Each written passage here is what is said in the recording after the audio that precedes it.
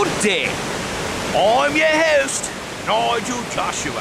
And once again, I welcome you to another excursion into the world of outside. And on today's special show, I am going to show you the origination of the saying, a slanted lake. A lot of people don't realize it, but there is actually a thing that exists called a slanted lake. And I'm here to show you about it today.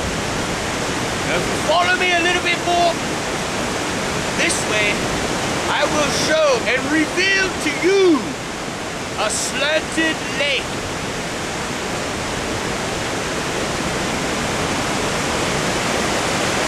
It's right up this way.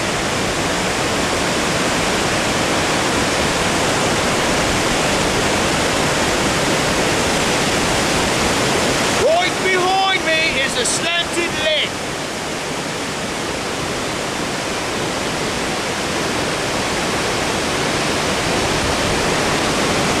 That, my friends, is a slanted lake.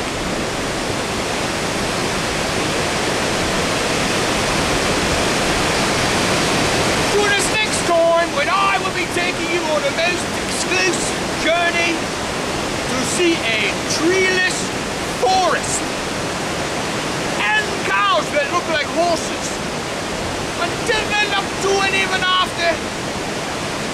I'm your host, Nigel Joshua.